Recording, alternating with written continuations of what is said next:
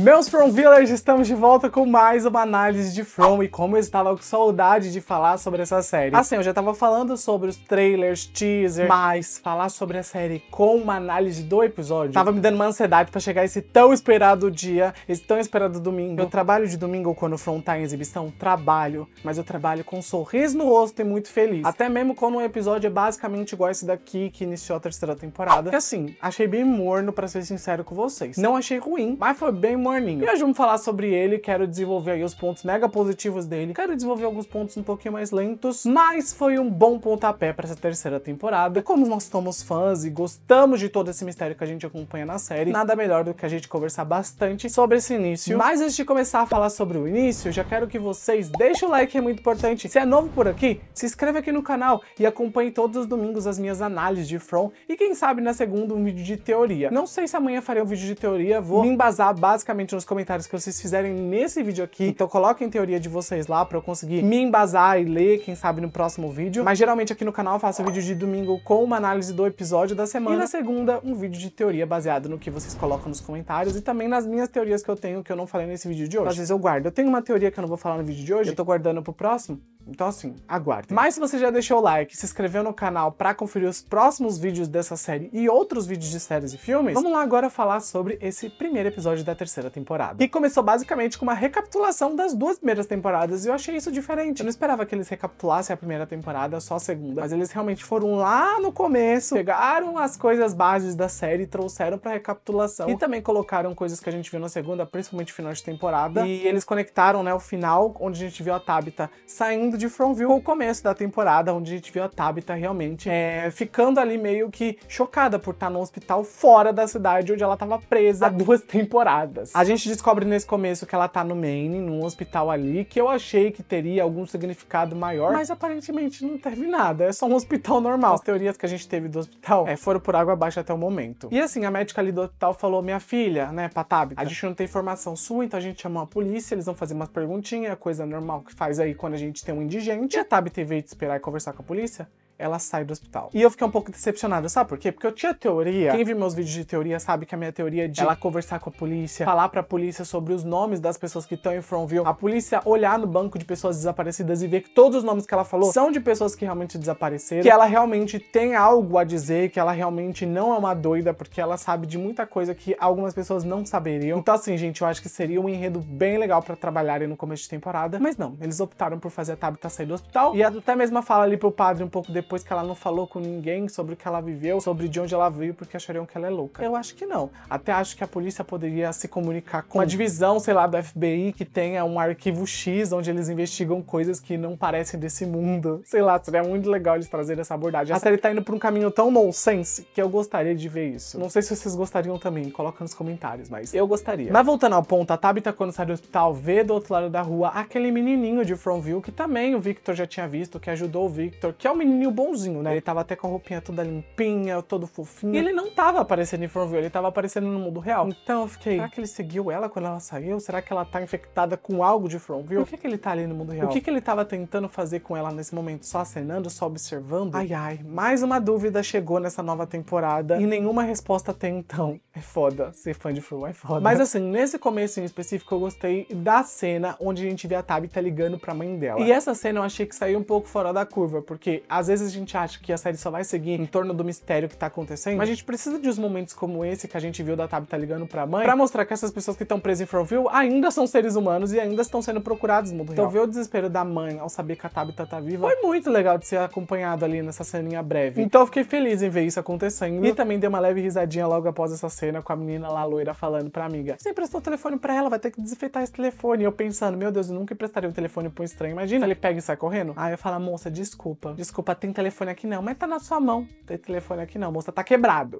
Moça, vai, zarpa, não tem pão velho aqui não. Eu não emprestaria não, o meu telefone é quase que uma parte do meu corpo, eu não consigo. Daí depois dela falar com a mãe dela, ela vai até a igreja que é ali do lado, se confessa pro padre, falar que ela pecou, conta um pouquinho sobre a cidade. O padre fica assim, minha filha, eu vou ajudar você achando que ela era um pouquinho biruta. E eu concordo, né? Foi muito assim, muita informação pro padre ao mesmo tempo. Mas ela acabou pegando a lancheira do Vitor, abrindo e vendo o endereço do Vitor na lancheira. E ela foi até a casa dele. E assim, brincadeiras à parte, eu sei que a gente tava acompanhando esse enredo aí da Tabitha no mundo exterior, que isso daí é algo muito diferente até agora pra série. Gente, uma pessoa saiu de Fromville, olha que incrível. Mas eu só conseguia perceber o cabelo da Tabitha, quão hidratado ele tava, o quão brilhoso, bonito ele tava. Meu, ela acabou de sair de uma cidade, ela caiu de uma torre ali, ela foi encontrada na floresta, foi pro hospital, passou um tempo no hospital e o cabelo dela ainda tá perfeito.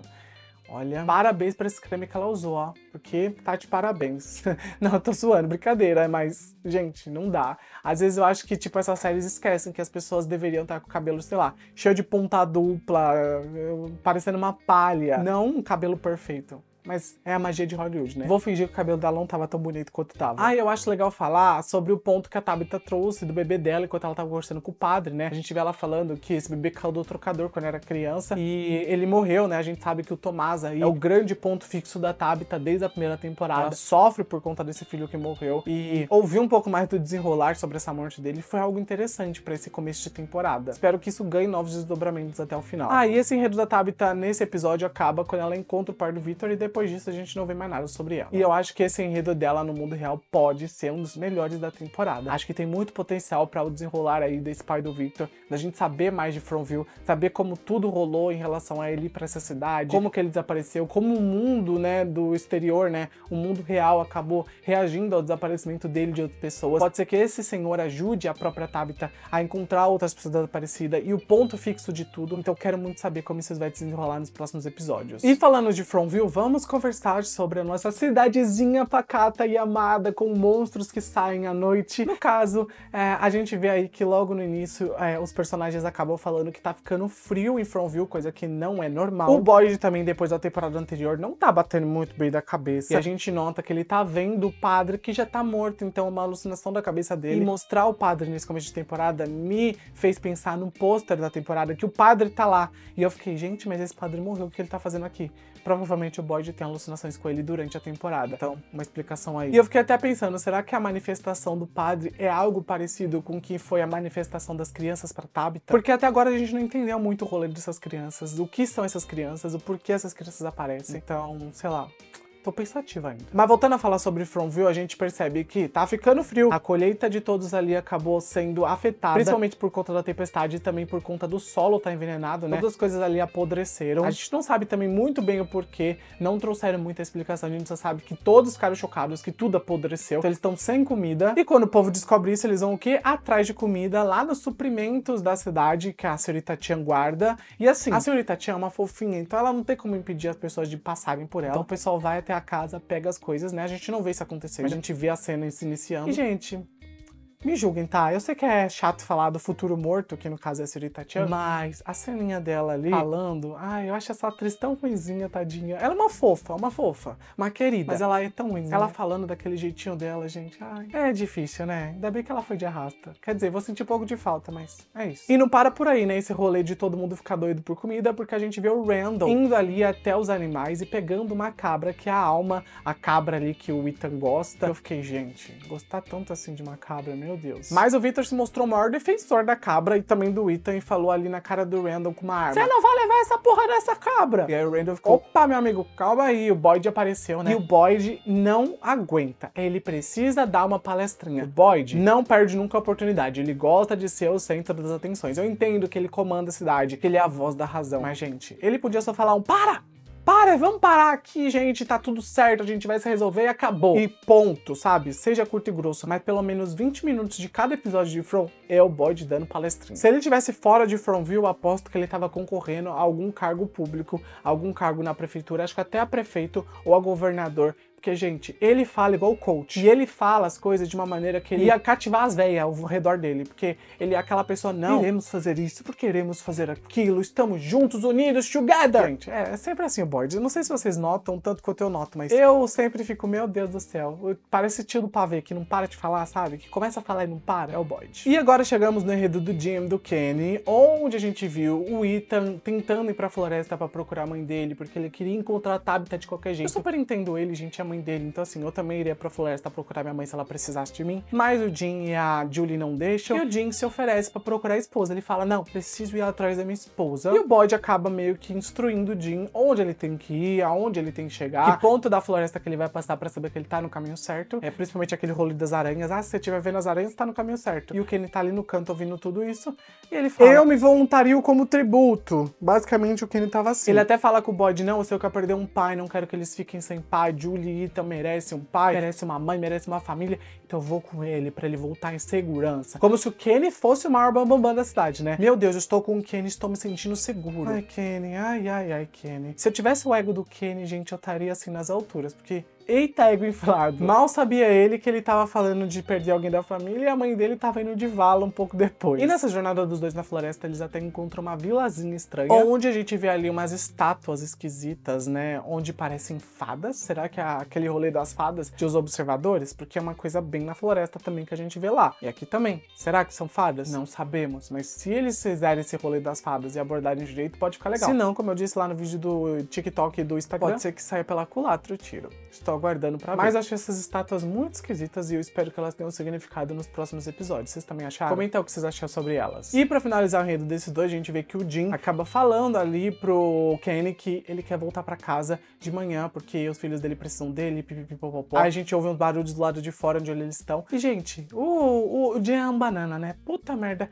O Jim sempre parece um bananão. É incrível. Não sei se vocês têm essa mesma sensação, mas a Tabitha parece que é mais destemida que ele. Vamos ver se ele vai realmente voltar pra casa no episódio seguinte. Eu acho que não, porque umas cenas do trailer mostra que ele ainda tem muito a percorrer. Mas, tô curioso pra ver o que vai acontecer. Agora falando do enredo mais blé do episódio, que no caso eu acho que ninguém liga. No caso, o enredo da Fátima e do Eldin. A Fátima tá com enjoo por conta do bebê que ela tá ali na barriga. E a gente vê aquela cena dela vomitando no banheiro, que na minha visão não acrescentou muito. Poderia ser uma cena muito mais rápida do que foi. Só que o que realmente me deixou intrigado nessa cena foi a nossa velhinha que tá espreita em todo momento. Gente, essa mulher chegou naquele ônibus na segunda temporada e até agora não teve importância na história, mas ela sempre tá lá. Ela sempre tá de olho, ela sempre tá na esquina. Ela sempre tá esperando para falar alguma coisinha. Ou ela é uma atriz que é basicamente lavagem de dinheiro, tipo, a tia de alguém da produção que foi colocada ali porque devia algo para essa pessoa. Ou realmente ela é alguém importante. Tanto que ela aparece no sonho do Eld um pouco depois e ela fala: ah, esse lugar nem é tão ruim se você tiver um hobby. Será que o hobby dela é investigar? Será que o hobby dela é olhar as pessoas ao redor e ver eles sofrendo aos poucos presos naquele lugar? E ela, na verdade, é uma espectadora que só tá ali comendo pipoquinha e aproveitando todo alvoroço? Será que esse é o hobby dela? Eu não acho que é tricô, eu não acho que é coisa de velhinha, eu acho que é esse hobby. Ela é o Mephisto dessa série, é o Mephisto. Quem assiste as séries da Marvel, WandaVision principalmente, sabe do Mephisto. Mas enfim, o Eld, desde que passou ali por poucas e boas na temporada anterior, não tá dormindo direito, tá tendo algumas assombrações nos seus sonhos e a gente vê ele ali meio que andando igual um zumbi, né, por não estar tá dormindo. E também sonhando com uma coisa bem ruim na frente dele. E no meio de todo esse enredo nós temos quem? O zero à esquerda, o Ellis. Aí você me pergunta, Matheus, qual é o enredo do Ellis? Não tem enredo Ellis. pra ser sincero com vocês, não tem enredo. De todos os personagens, ele e a Christie nesse episódio, Marielle nem apareceu. Mas ele e a Christie ganharam um cachezinho ali para não fazer nada. A Christie foi ali para dar um apoio moral pro Kenny na hora de ir embora ali, para ele ir pra floresta. E o Ellis apareceu para dar uma ajuda pra dona. Nem para ajudar a Fátima ele ajudou. Na verdade, ele só foi um bosta ali que apareceu. Eu fiquei tipo, mano, a mulher tá gritando com a sua mulher grávida e você não fala nada. Já dá um. Chega pra lá e falar, moça, para aí, minha filha. Banana esse Ellis, banana. E um enredo que eu gosto, mas não teve tanta relevância nesse episódio inicial, foi o do Jade, que tá obcecado por aquele símbolo que ele vem vendo há muito tempo. E agora ele até montou ali com panos, né? Um negócio do símbolo. Então eu fiquei meio assim, tipo, o Jade tá surtando. Será que o Jade tá seguindo pelo caminho certo da forma que ele tá fazendo as coisas acontecer? Porque, gente, na verdade parece que ele tá ficando doido aos poucos. Então eu quero muito saber como que vai fluir o enredo dele, como que ele vai conectar esse símbolo com as crianças Agakui, Agakui, Agakui, aquelas que apareceram na temporada anterior. Tem muito pra gente desenrolar do Jade, eu acho que ele vai ser um personagem importante, tanto quanto eu acho que o Eldin vai ser também. E o bebê da Fátima pode ser. Ai, gente, tá difícil acompanhar alguns enredos aí de From. E o episódio acaba daquele jeitinho que a gente tanto gosta, porque, ao que parece, todo o início de temporada de From precisa ter uma morte, e nesse daqui não foi diferente. Então a gente vê os monstros ali, por algum motivo, abrindo o lugar dos animais, meio que eles fizeram uma emboscada pros humanos, e eu fiquei agora pensando, nossa, agora os monstros conseguem pensar, agora os monstros conseguem armar um plano pra emboscar os humanos, será que eles estão evoluindo à medida que o tempo tá passando? Por que, que eles nunca fizeram isso? Por que, que eles nunca acabaram com a comida dos humanos? Por que, que eles nunca mataram os animais antes? Eles esperaram tudo acontecer para fazer só agora. Será que tem alguma explicação plausível para isso? Eu só sei que os personagens recorrentes se reuniram pegar os animais e colocar eles de volta nos seus lugares, né? Porque eles não podiam fugir, porque era a única fonte de alimento deles. E aí os monstros começaram a fazer uma emboscada. O próprio Ethan saiu de casa para ajudar a cabra dele, a alma. E assim, o Ethan nunca foi de fazer tanta cagada uma atrás da outra, né? Eu até achava ele inteligente. Já comentei em vários momentos que eu acho que o Ethan tinha muito potencial para ser uma pessoa para resolver muitos problemas. Mas nesse episódio, além daquela ceninha que ele ouve o Boyd, a dona e companhia conversando sobre matar ali a cabra pra dar de comida, né, pras pessoas da cidade, e ele sai assim da situação. Essa cena foi algo muito mexicano ou algo muito Disney Channel. Faltava só a música da Hannah Montana nesse momento. Oh, yeah.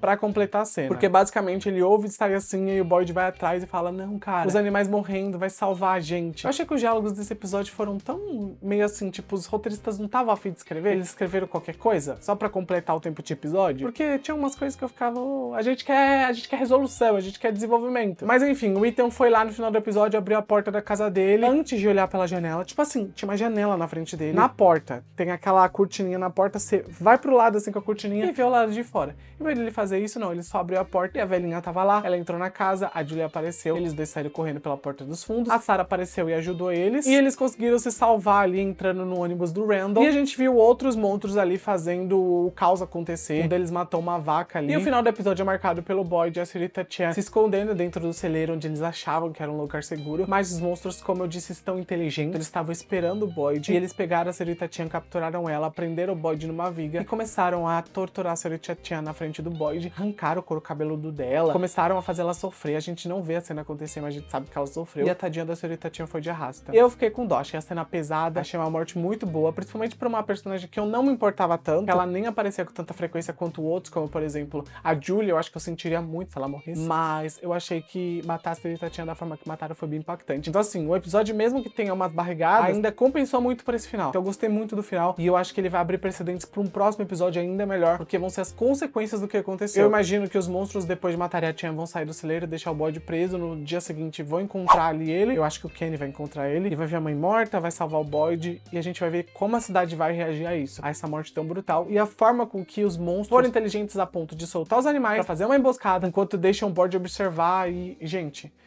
Gente, o que tá rolando aqui? O que tá rolando com os monstros? Olha, eu gostei dessa tática. Eu acho que mesmo que o episódio não tenha sido um dos melhores, essa reviravolta de fazer os monstros serem inteligentes foi a pitada que tava faltando aqui em From. E eu acho também que o enredo da Tabitha vai caminhar para algo muito grande à medida que os próximos episódios forem avançando. Mas era isso que eu tinha pra falar. Acho que tem bastante coisa para rolar ainda em From, mas eu quero saber de vocês. O que vocês acharam desse episódio? O que vocês acharam desse final impactante? Coloca tudo nos comentários. Também coloca as teorias pro próximo episódio. Deixa o like, é muito importante. Se inscreve aqui para próximos vídeos, principalmente de From. Domingo que vem eu volto aqui para falar sobre o próximo análise. Eu fico por aqui. grande beijo e tchau!